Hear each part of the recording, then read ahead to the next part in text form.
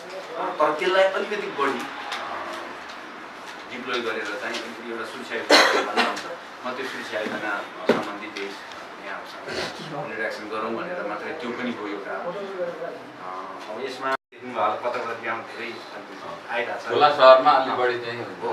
त्यसमा हामीले पनि अलिकति अरू नर्मल ड्युटीभन्दा अलिकति विशेष किसिमले चाहिँ म्यान पावर चाहिँ हरण खटन गरेर हाम्रो हामीसँग भएको चाहिँ साधन स्रोत परिचालन गरेर एउटा सुरक्षा योजना चाहिँ बनाएको छौँ। अब त्यस मुकामको सुरक्षा योजना र हाम्रो मातहतमा भएको इलाका प्रहरी कार्यालय प्रहरी चौकी अनि अस्थायी प्रहरी चौकीहरूबाट चाहिँ खट्ने र उनीहरूले लिने ड्युटी पर्फर्म गर्ने ड्युटी भनेर चाहिँ हामी दुईवटा किसिमले चाहिँ बाँडेका छौँ। र विशेष फोकस चाहिँ हाम्रो यही हाम्रो सदरमुकामलाई लक्षित गरेर चाहिँ जिल्ला प्रहरी कार्यालयले चाहिँ बनाएको छ। त्यसमा हामीले पकेट एरियाहरू चाहिँ छुट्याएका छौँ। जस्तो सरकारी कार्यालयको पकेट एरिया। त्यस्तै गरेर ब्याङ्क वित्तीय संस्था र सुनचाँदी पसलहरू भएको एरिया।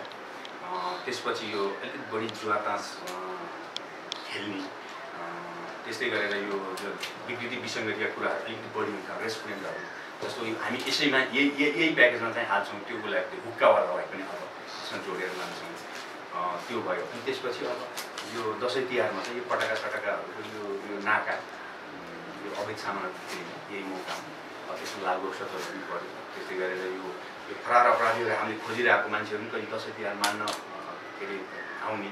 त्यो त्यसमा चाहिँ त्यसलाई चाहिँ कन्ट्रोल गर्न त्यसलाई चाहिँ फरार अपराधी समात्न त्यसलाई त्यसमा अवैध सामानहरू चाहिँ के अरे भित्रियो भने भित्रियो नदिन भित्रियो भने चाहिँ त्यसलाई सिज गर्ने हिसाबले चाहिँ ट्वेन्टी फोर आवर चाहिँ हामी कालीपुर र यो प्रदेशहरूलाई हाम्रो जिल्लामा चाहिँ यो तलबाट गर्ने ट्वेन्टी फोर आवर चाहिँ अस्ति पन्ध्र गतिदेखि चाहिँ हामीले सुरु गरेका छौँ त्यो चेक पोइन्ट चाहिँ र यो सुरक्षा योजना चाहिँ तिहारको एक हप्ता पछिसम्म चाहिँ नर्मली तिहार यो अस्ति पन्ध्र गति सुरु भयो। अब दसैँ के अरे यो तिहारको चाहिँ एक हप्ता पछिसम्म।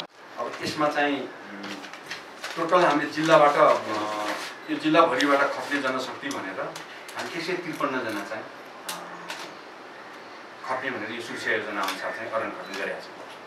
यसमा क्रिकेट भन्ने छ त्यसपछि ग्रामीण बस्ती। हामीले यो अलिकति यो बजार एरियामा चाहिँ फोकस गरेर आउँछौँ तर के भने ग्रामीण भेगमा पनि यो दसैँ तिहारको बेला चाहिँ यो लुटपाट हुने चोरी हुने त्यस्तै डकैत पनि भएको रहेछ यो चाहिँ।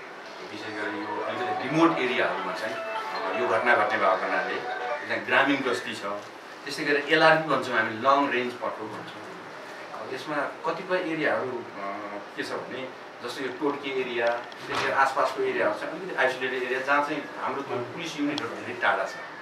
त्यो युनिटहरूलाई चाहिँ लक्षित गरेर हामीले चाहिँ लङ रेन्ज पट्रोल हामीले यहीँबाटै पठाउँछौँ। र त्यो पट्रोल के गर्छ भने त्यहाँ गएर तिन चार दिनसम्म चाहिँ त्यो एरियामा बस्छ। त्यहाँ त हामीले जनप्रतिनिधिहरूसँग चाहिँ हामीले कोर्डिनेसन गरिरहेको छौँ। उहाँहरूले बस्ने र खानेको सुविधा चाहिँ के अरे गरिदिन्छौँ भन्नुभएको छ। ती ठाउँहरूमा चाहिँ हामीले त्यो लङ रेन्ज पट्रोल भन्ने जिल्लाबाटै पठाउँछौँ। तिन चार दिन बस्छ। त्यहाँको जुन लोकल प्रहरी युनिट हो तिनीहरू पनि त्यहाँ मिट गर्छ। र त्यहाँ चाहिँ तिन चार भनेको चाहिँ हाम्रो सदरमुकाममा आउँछ एउटा गाडी हाम्रो दरबाङमा छ। अन्त हाम्रो गाडी छैन। यो दुईवटा एरियामा चाहिँ दरबाङमा पनि बजार छ। बजार एरियामा पनि मोबाइल गाडी मोबाइल बस्ती गर्छ। त्यस्तै गरेर यो बेनी यो सदरमुकाम एरियाहरू अनि अन्यत्र एरियामा चाहिँ हाम्रो मोटरसाइकलहरू छ। त्यो मोटरसाइकलले चाहिँ हामी क्युआरटी भन्छौँ।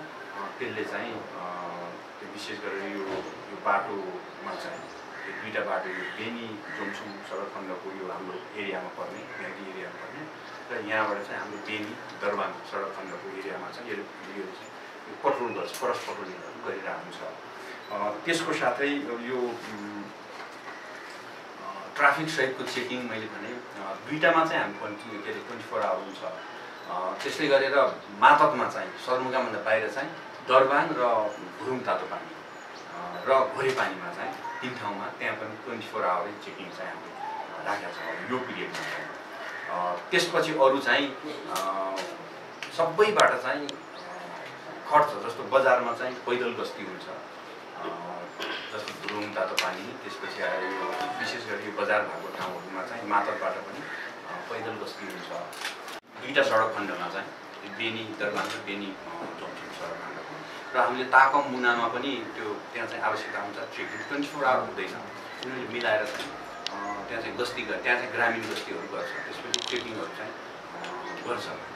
यसरी चाहिँ हामीले यो नाका चेक पोइन्ट भनेर चाहिँ यो हामीले चाहिँ मेनली कालीपुरको नाका र रत्नेश्वरको नाकालाई त्यसपछि यो माथि कास्कीबाट चाहिँ छिर्ने भोरे पानीको नाकालाई चाहिँ मेन तिनवटा नाका भनेर चाहिँ ट्वेन्टी फोर आवर चाहिँ अब त्यहाँ चेक पोइन्टहरू राख्ने भनेर चाहिँ हामीले गरेका छौँ र सुरु पनि गरिसकेका छौँ हुन्छ सादा पोसाककोले चाहिँ अब हामीले सवारी साधनहरू चेक गरेका हुन्छौँ जुन ट्वेन्टी फोर आवर चेक पोइन्टमा त्यसमा चाहिँ यस्ता लागु पदार्थहरू लगायत अन्य अवैध सामग्रीहरू जस्तो यो पटाकाहरूको कुरा एक्सप्लोसिभहरू इत्यादि कुराहरू त्यस्तै गरेर यो जुवा तासको चाहिँ जुवा तास नियन्त्रणको लागि रेस्टुरेन्टमा रेस्टुरेन्टहरूमा चाहिँ होटेलहरूमा हुने यो अवैध गतिविधिहरूलाई चाहिँ नियन्त्रण गर्नलाई हामीले यो पाँचजनाको जस्तो के अरे सादा पोसाकमा चाहिँ फटाएको हुन्छौँ।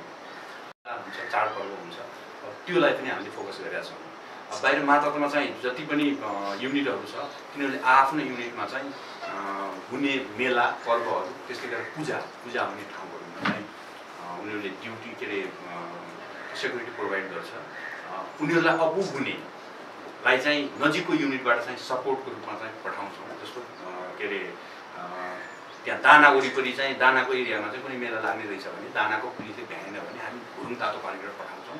अब त्यसले पनि भएन कुनै ठुलै घटना घट्यो भने त्यसको लागि चाहिँ तुरुन्तै मुभ हुनलाई हाम्रो यो पिरियड जुन यो सुरक्षा योजना विशेष सुरक्षा योजना सुरु भएको छ यो पिरियडमा चाहिँ पिरियडसम्म चाहिँ हामीले यो इन्सपेक्टर साहबको कमानमा हाम्रो पन्ध्रजनाको टोली चाहिँ ट्वेन्टी फोर आवर्स चाहिँ स्ट्यान्ड बाई हुन्छ त्यो चाहिँ केही घटना घट्यो त्यहाँको जस्तो यही हाम्रो सदरमुकाममा घट्यो नजिक भइहाल्छ जान्छ। भोरे पानीमा केही घट्यो सिगाधारामा केही त्यस्तो ठुलै घटना घट्यो भने त्यहाँको पुलिस सकेन यो पुलिस यो चाहिँ फेरि मुद्दाको पुलिस समेत समावेश राखेर हामीले यो ट्वेन्टी फोर आवर चाहिँ यसरी यसलाई चाहिँ स्ट्यान्डमा राखेका हुन्छौँ। यो टोटल गर्दाखेरि चाहिँ एक सय त्रिपन्नजना यसरी हाम्रो यो सुरक्षा योजना अनुसार चाहिँ हाम्रो म्यान पावर खटिन्छ एकजना इन्सपेक्टर साहब लगायत एक सय त्रिपन्नजना चाहिँ हामी यसरी खटाएको छौँ यसमा चाहिँ